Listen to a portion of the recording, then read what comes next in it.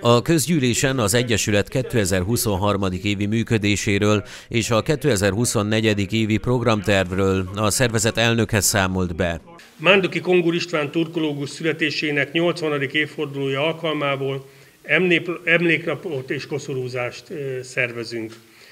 Nemzeti ünnepeken Emléknapokon kocorúzással emlékezünk, például az 1848-49-es forradalom és szabadságharc emlékere szervezett eseményeken, Karcagi Kovács Mihály emléknapon, Redempciós emléknapon, az aradi vértanúk emlékre szervezett megemlékezéseken. Kisújszálláson a Horváth tanyár megrendezése kerülő Horváth György nagykunkapitány emléklapján részvétel, koszorúzással emlékezés, tragikus körülmények között elhunyt alapító tagunkra és barátunkra. Tegnapi nap volt a harmadik nagykun huszár találkozó, ahol a temetőbe Barta Júlia taktársunk koszorút helyezett el. Én a megnyitó ünnepségen vettem részt.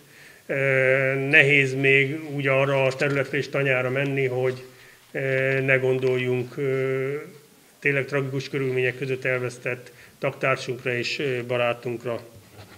Védnökséget vállaltunk és díjat adtunk, ajánlottunk fel hagyományőrző eseményeken, gasztronómiai fesztiválokon, mint például a Karcagi Birkafőző Fesztiválon, Szent Miklósi napokon, Kun Hagyományok napján.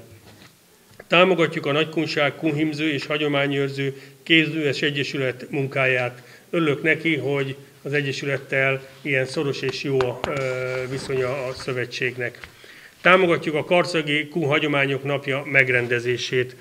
Az előző évi gazdálkodást és az idei év pénzügyi tervét Kuncsaba, a felügyelő bizottság elnöke ismertette. A rendezvényen köszöntötték az előző gyűlés óta elismerésbe részesült tagtársakat is. Molnárné Balog Éva tanító a roma kultúráért és oktatásért, a hátrányos helyzetű emberek felzárkóztatásáért végzett tevékenységért Balázs János díjat kapott. Györfi Sándor Kossuth Díjas szobrászművész a több évtizedes értékteremtő és kiemelkedő művészeti tevékenységért, jászkunságért elnöki elismerő oklevélben részesült. Szepesi Tibor az épp polgármestere díjat vette át.